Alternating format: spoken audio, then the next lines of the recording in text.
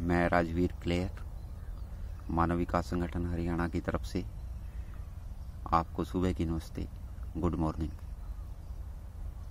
इस संस्था के बारे में मैं आपको कुछ बताना चाहता हूँ। यह संस्था किसी भी विशेष जाति, धर्म या संप्रदाय के लिए कार्य नहीं करती। इस संस्था का उद्देश्य नेशनल इंटीग्रेशन, राष्ट्रीय एकता की भावना पैदा करना, शिक्षा के क्षेत्र में, खेलों के क्षेत्र में, पर्यावरण से संबंधित विषयों में यह संस्था महत्वपूर्ण कार्य कर रही है।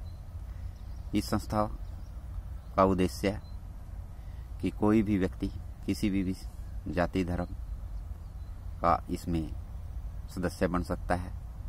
यह किसी विशेष जाति के लिए, विशेष धर्म के लिए नहीं है। इस संस्था का उद्देश्य सबको एक साथ लेकर चलना है। ज़्यादातर संस्थाएँ किसी लिमिटेड विषय से रिलेटेड रहती हैं, लेकिन इस संस्था का उद्देश्य सबको साथ लेकर चलना है। जो भी व्यक्ति राष्ट्र और समाज के लिए अच्छा करना चाहता है, वह किसी भी जाति, धर्म का हो, वह इस संस्था का सदस्य बन सकता है। हमने खेलों के क्षेत्र में एक मानव विकास खेल समिति का निर्माण किया है, जिसने 10 व 11 अक्टूबर को भी एक वॉलीबॉल की टूर्नामेंट प्रतियोगिता कराई थी, जो जिला स्तर की पंचायत की टीमें थी। उन्होंने इसमें हिस्सा लिया। सभी खिलाड़ियों ने इसमें अच्छा प्रदर्शन किया।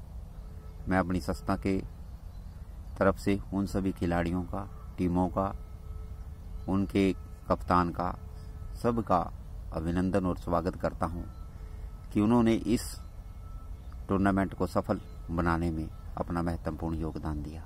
इसके साथ साथ जो मानव विकास संगठन की खेल समिति थी, मैं उनका भी और जिन जिन सरपंच महोदयों ने इस टूर्नामेंट को सफल बनाने में योगदान दिया था, मैं उन सब का भी जो है अभिनंदन और स्वागत करता हूँ। अब इस संस्था के द्वारा सात व आठ नवंबर को राज्य के वरिष्ठ माध्यमिक स्कूल लाड़ी कला में एक कबड्डी की प्रतियोगिता, नेशनल कबड्डी की प्रतियोगिता होने जा रही है, जिसमें जिला यमुनानगर की पंचायत की कोई भी टीम हिस्सा ले सकती है और इसमें किसी भी एक्स्ट्रा प्लेयर को खेलने की इजाज़त नहीं होगी। तो कोई भी जिला यमुनानगर की पंचायत की टीम इसमें हिस्सा ले सकती है। और इसमें हमने पहला प्राइज इकहत्तर सौ रुपये रखा है, और दूसरा प्राइज इक्यावन सौ रुपये रखा है, और तीसरा प्राइज जो है हमने इकतीस सौ रुपये रखा है। और इसके साथ साथ इस प्रतियोगिता में रेस का भी जो है आयोजन किया गया है, जिसमें 200 मीटर 400 मीटर 800 मीटर और 1600 मीटर की जो है दौड़ लगेगी। इसका मुख्य उद्देश्य है कि जो भी बच्चे आर्मी या पुलिस के लिए जो है तैयारी कर रहे हैं, उनको भी इस प्रतियोगिता में जो है हिस्सा लेने का मौका मिलेगा और वो ज़्यादा लगन और मेहनत से जो है अपने कंपटीशन की तरफ़, प्रतियोगिता की तरफ़ जो है ध्यान देंगे।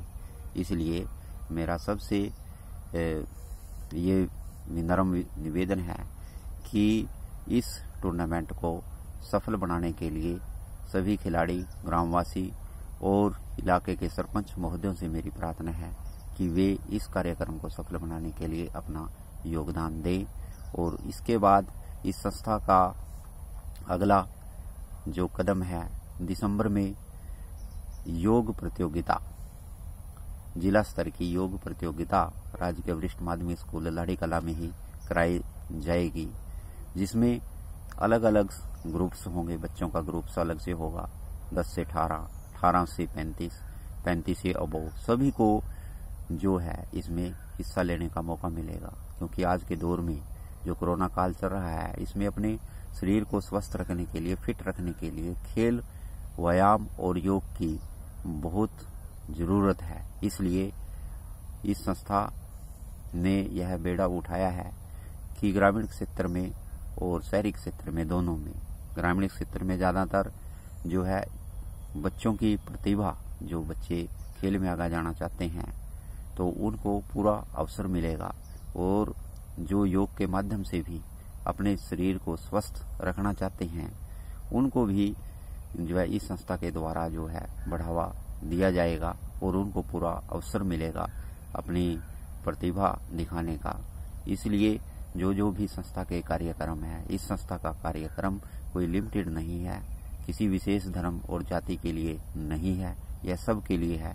कोई भी व्यक्ति इस संस्था का सदस्य बन सकता है, यदि कोई व्यक्ति इस संस्था का सदस्य बन सकता है, बनना चाहता है, या इस संस्था को सहयोग करना चाहता है तो मेरा नंबर अस्सी पाँच सौ छियानवे तेईस एक सौ इक्यावन, अस्सी पाँच सौ छियानवे और तेईस एक सौ इक्यावन पर संपर्क कर सकता है।